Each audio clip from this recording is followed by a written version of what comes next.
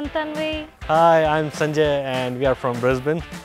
I know Mahindra and I know Scorpio from family back at home in India. And when Mahindra launched this car in Australia here, because I bought it, uh, uh, the car six months ago and then Mahindra uh, launched this one, I, I couldn't stop myself. We just sold that one because we want to get in Mahindra.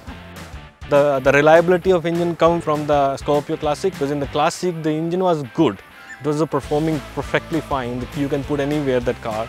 But the same thing, reliability come with it, but they added a luxury on it.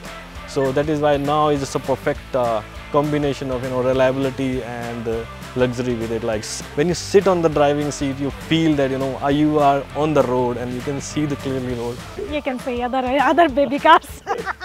This car can go anywhere, wherever in Australian. Like this is a perfect car. You know, this car opened like Australia for us. Like one car can go anywhere. Beaches, four-wheel drive, mountains, work, anywhere. And this price, you can't get anywhere other car. You can't find it. That's This is our old Mahindra.